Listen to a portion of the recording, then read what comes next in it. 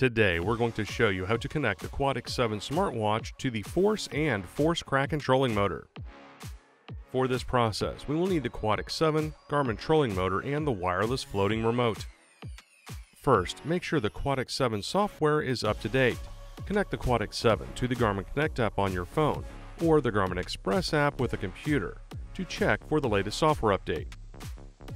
The Garmin trolling motor will also need to be updated to the latest software version. Software will need to be updated through the ActiveCaptain app. Follow the on-screen link for more help with software updates for the Garmin trolling motor. Then ensure the remote is powered on and connected to the trolling motor.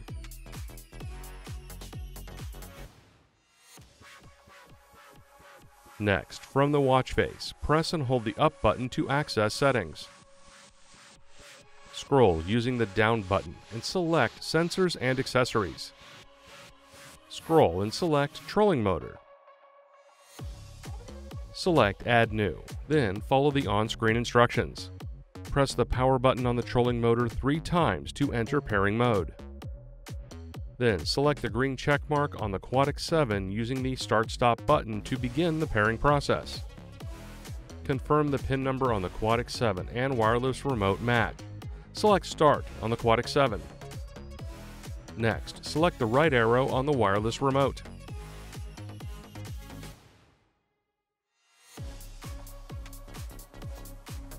Now, let's add the trolling motor to your activity list. Press and hold the middle button to access settings. Scroll down and select Activities and Apps. Scroll and select Trolling Motor. Now scroll down and select Set as Favorite. You can use the up and down buttons to move the trolling motor in your favorites list. Select the green check mark and navigate back to the main watch face. Then select the Start Stop button to access your activity list. Scroll down and select Trolling Motor. The trolling motor display will now show on the Quatix watch. You can adjust the throttle control, steer direction, and cruise control with your Quatix 7. Use the up and down buttons to navigate each control. Select the Start Stop button to make the adjustment. Select the back button when you are finished adjusting settings. Turning on cruise control will take the current SOG or speed over ground and stay at that current speed. Cruise control speed can only be adjusted from the wireless remote control. The Quatix 7 will only turn cruise control on or off. Anchor lock can be activated from the Quatix 7. Select the Start Stop button to activate it. Some trolling motor settings can be accessed from the Quatix 7 watch. Pressing and holding the middle button on the Quatix 7 will navigate you to these options. You can change units for distance and speed, miles per hour, kilometers, and nautical miles.